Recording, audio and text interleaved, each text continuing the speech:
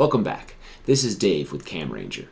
I'm going to be showing you wireless tethering with the CamRanger and a Fujifilm medium format camera. In this case, a GFX 100S. Now, of course, the CamRanger can be used with other Fujifilm cameras, as well as Canon, Nikon, and Sony, but we often get asked how well it works with a big medium format camera. Now, the files obviously are much larger. The GFX 100S, for example, raw files over 200 megabytes. So we want to show, okay, well, how well does this actually work? Now I have the CamRanger hooked up via USB to the camera. It's connected, or I should say attached on the hot shoe. There's a lot of different other attachment options on a tripod, an L bracket, really whatever you want.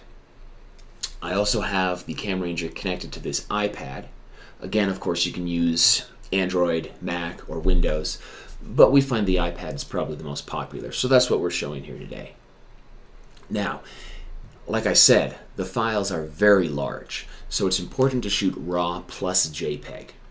Now, all the RAWs will get saved to the camera's memory card, and the JPEGs will get transferred over to the iPad for display.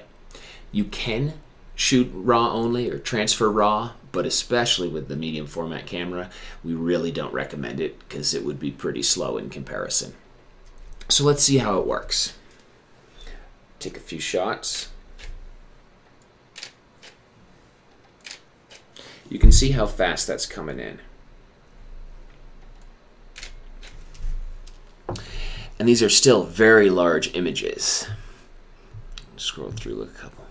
So we can zoom in and see you're still getting excellent detail there. And of course, you still get all the same usual controls you would within the CamRanger app.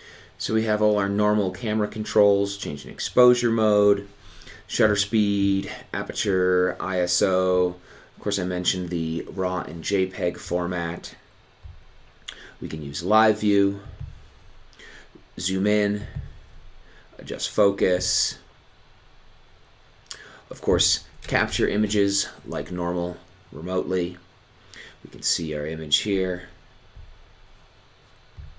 And then the usual time lapse, HDR, as well as advanced focus adjustment and focus bracketing. Well, hopefully the video was helpful in showing you a little demo with a Fujifilm medium format camera. Thanks for watching. Bye.